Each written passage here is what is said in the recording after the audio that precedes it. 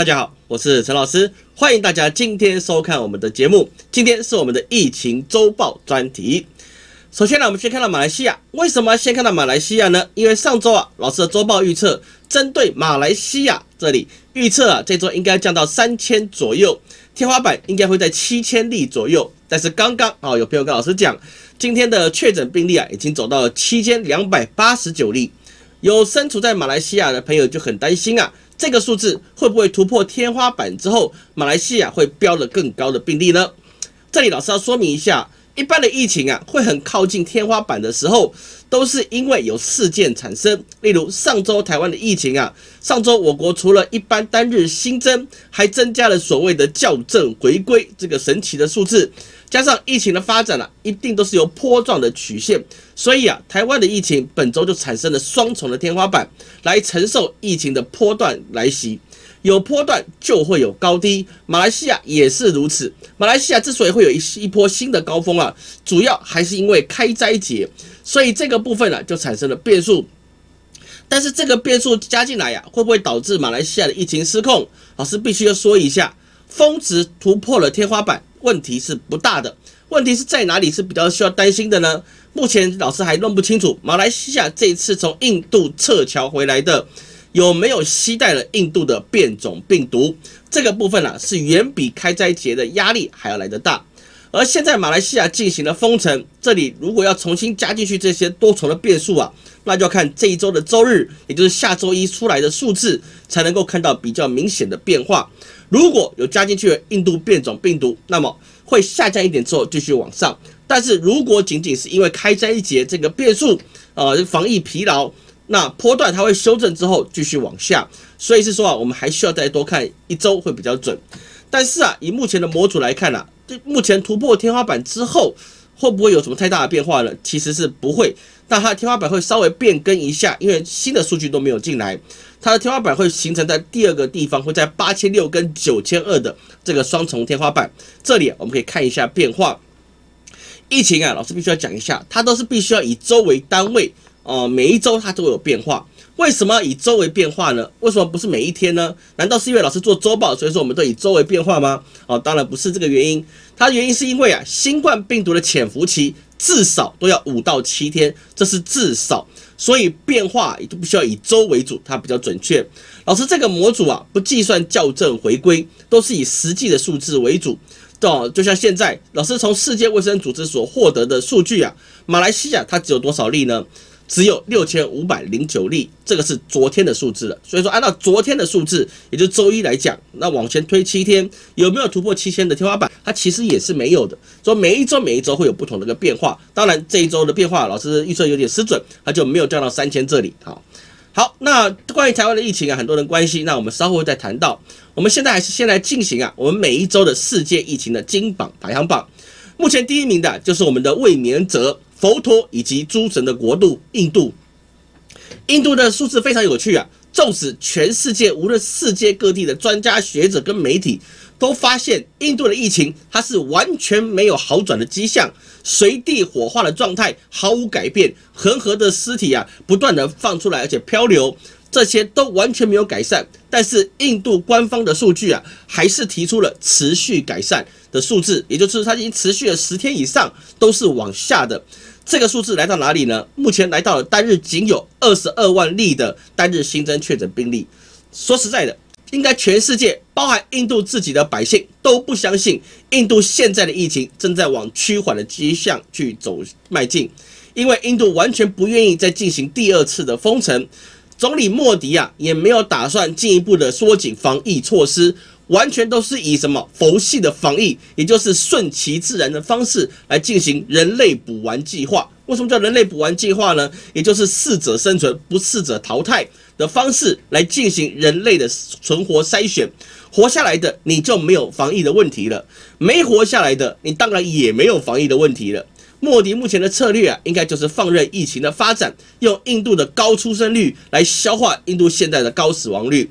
印度的莫迪啊，他现在任期还有三年，所以莫迪现在有没有可能吃了秤砣铁了心，他要把他跟他的党的未来赌在没有病亡的百姓身上？因为你可能过几年你就忘记了，反正有些问题有错，那一定错在谁身上？绝对在中国身上的错。这些都是中国为了避免印度要超越中国所做出来的生化武器。只要认知作战，战做得好，那么就没有问题了，百姓就不会怪罪他了。各位说对不对啊？那么第二名啊，仍然是我们嘉年华之国巴西。巴西的高峰啊，还在单日新增八万两千这个数字。当然，它已经缓步增加了，所以说过去的复制贴上的问题也获得了消化。那么周平均啊，它还是只有在六万五千上下。所以说，就看印度变种病毒啊有没有去渗入到巴西里面，这个是一个很重要的关键。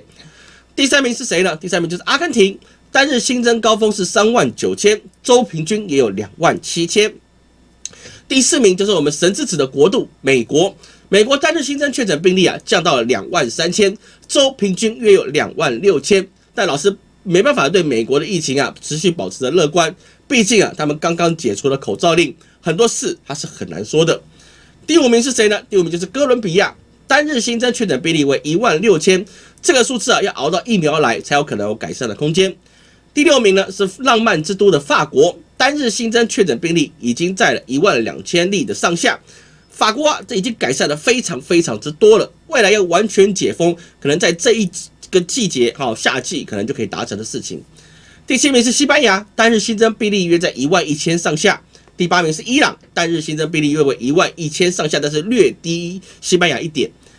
第九名是欧盟之首德国。本周啊，平均约一万，但是呢，老师看到最新的这几天啊，两三天的数字啊，它已经跌到了大概四千六的上下，甚至还有更低的三千的，可能下周啊，它可能又在前十名中被除名了。第十名是土耳其，高峰它一万，但是平均还落在八千左右。这个数字啊，随着气温啊会稳定了一阵子的发展，可能会慢慢的往下去修正。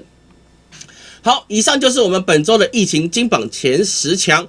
除印度之外，欧美的疫情啊已经大幅的缓解。接下来，美国的疫苗理论上会先提供给拉丁美洲，而欧洲的疫苗啊也会趁疫情趋缓的时候大量的铺设施打。今年的秋冬，理论上欧美不会像过去那样的惨况，而会越来的越好。而现在啊，政治性缺乏疫苗的亚洲就陷入了重头戏了。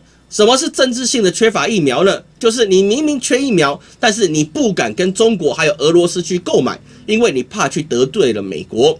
但是美国又不肯放疫苗，除非你拿利益来去跟他换。例如韩国啊，南韩他就拿了半导体来换到了疫苗的生产。美国现在就是待价而沽，放出来的脸色是什么呢？你要疫苗没问题，你可以来跟我换，或是来跟我买，而且呢，你也不能跟别人买。诶，这样子我就不高兴了。加上 A G 现在的疫苗的生产地方啊，主要是在印度啊，有百分之六十在印度生产，那么它现在生产进度也会受到了影响。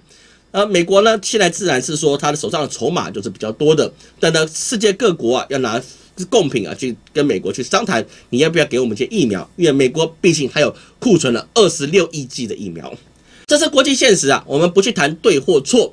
在历史与时间的光谱上面呢，对跟错、正义与邪恶都不重要，因为所有的行为都得自己承担的后果。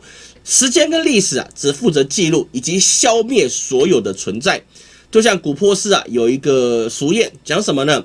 双手再强壮，你没办法挡住河流的奔袭；双脚再强强大，你也无法撼动了大地。任何的爱怨情仇、悲欢离合，都可以被时间所消灭。就像什么呢？老师举个例来说明，就像我们第一次人生经历的失恋，那简直是天崩地裂。但是过了二十年，那个画面回想起来都觉得很有趣，不是吗？好看完了前十强啊，我们来关心一下其他的国家。尼泊尔单日新增八千四百例，但是这个数字啊，虽然不一定完全准，但是目前看到尼泊尔政府啊，还是有在努力啊进行防疫啊，这个他们是政府是比较不一样的。那么俄罗斯呢？现在单日新增约八千八百例，哦，当然它的数字有高有低，这个数字停留太太久，当然也会有点想法是会不会有可能有印度变种病毒进入了俄罗斯呢？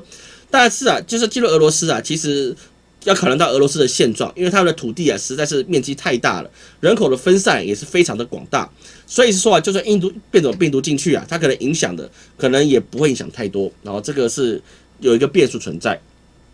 而马来西亚呢，最新的病例是七千两百八十九，这我们刚刚提过了，需要再观察一周。印尼现在是单日新增五千九百例，也需要再观察，因为它离印度比较近一点。伊势之国的意大利单日新增约五千，枫叶之国的加拿大约三千四百例。随着气温的变化以及疫苗的入手啊，加拿大在数字啊，它在这一季应该会有改善蛮多的状况。而到我们的亚洲，和之国的日本。在本周平均啊，单日平均大概是四千八到五千二之间，它并没有达到了九千这个天花板。现在就等什么？就等奥运的举办所带来的变数，会不会又来一波新的高潮？因为啊，奥运它是世界各地好，选手来自世界各地，同样的病毒也会来自于世界各地，所以日本疫情啊要获得解决，基本上要看奥运结束后的一个月后的状况，这个是比较能够去衡量哦，日本会不会结束这个疫情。而比较注意需要注意的国家其实是南非，因为南非啊，它的病例数字是有往上走的趋势，本来在一千以下，现在哦往上飙升了将近三千的单日新增病例，这个数字啊，有没有可能有一些是来自于新的印印度变种病毒？而这跟南非变种病毒如果融合了之后，会不会发生什么样的事情？这个不知道啊，老师不是病理学专家，但是呢，我们必须要去观察一下。而亚洲第七的台湾哦，单日新增五百九十五例，南韩五百一十六例。我们台湾地区啊，一直很想赢韩国啊，这个是一个情节，对不对？这下好了，对不对？除了我们的晶圆半导体之外啊，我们单日新增确诊病例啊，也赢韩国了。虽然我们在我们的人口啊，只有人家的一半不到，但是我们也是胜他的嘛，对不对？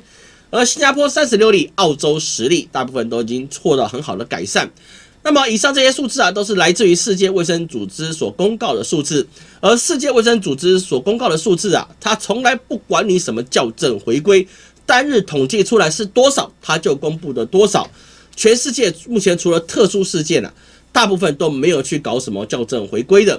而全世界在处理疫情啊，每天都是几千几万的哦，单一国家几千几万人在处理，那么他们还是尽量的去消化。而我们伟大的政府啊，超前部署了一年。单日超过一百例啊，我们就发生了塞车，这个是蛮特别的状况哦。而在这种超前部署之下，疫情只要再提升一倍，单日没有破千，我们国家的医疗体系就会崩溃。但是啊，我们政府啊还在把心力放在拉科打猴，又爆出了所谓认知作战的反串被揭发。这老师啊，必须要声明一下自己的立场哈。老师是一个大耳朵老百姓啊，也不能说什么。那在公开的频道场合上啊，我们也只能选择支持我们的政府。毕竟啊，这个是一个怎么讲？这是一个对外我们要大家团结一致啊，这是一个想法。只是私底下跟比如说跟金老师在聊天的时候啊，还是免不得有一点维持啊。啊，什么维持呢？就是啊，老师什么都没说啊，各位同胞。尤其是双北的同胞，请务必配合中央政府的指挥，我们做好防疫，我们努力撑过这个阶段吧。而这一万恶的中国共产党所怯战的中国大陆沦陷区，什么状况呢？目前中国没有零星的病情产生，但是啊，很快就被扑灭了，因为他们已经非常有经验了。而中国在疫苗施打的普及度达到了多少呢？单日最高达到了一千一百万的施打数字，这跟我们前两个月所预测的其实是差不多的。哦，之前老师预测大概每一天大概七百到一千万，而目前回报给世界卫生组织的数字呢，就是全中国已经有将近六亿的百姓施打过了疫苗，这已经是全世界施打疫苗最多的国家。而沦陷区的百姓啊，虽然你们吃不到茶叶蛋跟榨菜，但是啊，疫苗还是可以喝个几毫升的，对不对？好，以上就是我们本周的疫情周报，感谢大家今天的收看，我是陈老师，我们下次见。